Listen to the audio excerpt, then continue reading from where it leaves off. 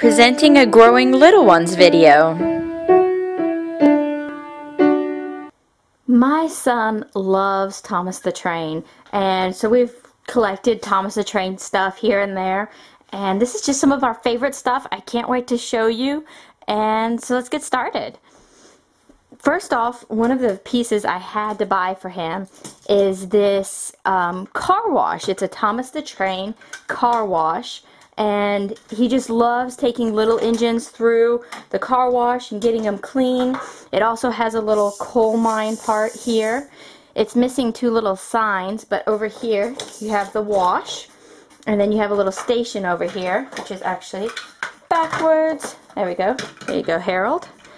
And um, you can just take Thomas around the tracks, and he can get his coal, and then he can come around the other side and get a car wash or an engine wash.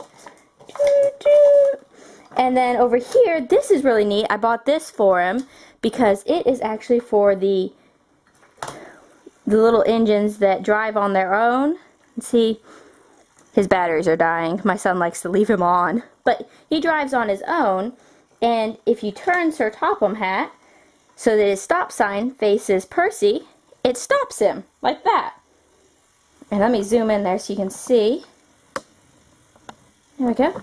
This little part raises up, and then when he turns back, then he can drive over it. So it's an automatic stop. There you go, Percy. Poor Percy, his batteries. and you can turn it back this way, and it will stop him. So we love that Sir Topham Hatt. A set wouldn't be complete without him. And then Another favorite toy is this little guy here. And you push.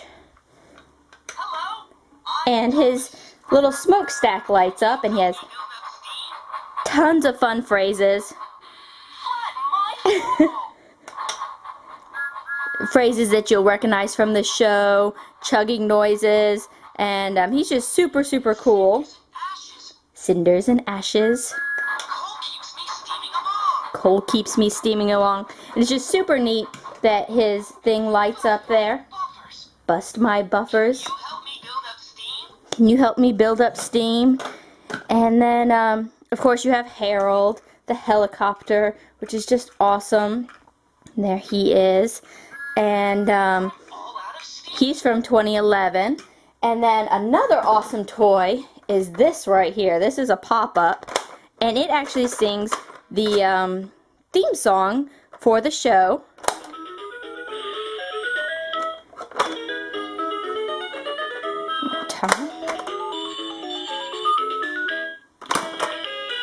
And once you've popped all four of them, it will sing the theme song. So this is a cool, cool toy. And then you have the little push and go riders, where you push the driver down, the conductor, and he will drive forward. So let's make a space. And we've actually got two of these. And here we go. Pull back. And let me get on the other side, otherwise he'll drive off the edge. Ooh, he drove off the edge. I wasn't quick enough. and we've got a Thomas one too. And I'll have to do a video of them racing sometime. So but uh, there's Thomas. It looks like Thomas would lose that race. But uh, you have the other pop-up toy that we really like. We don't like it as much as the other one, but um, he makes little bell noises. Here. James, Thomas, and Percy. And then, of course, the uh, laptop is super, super neat. And you've got tons of fun stuff going on there.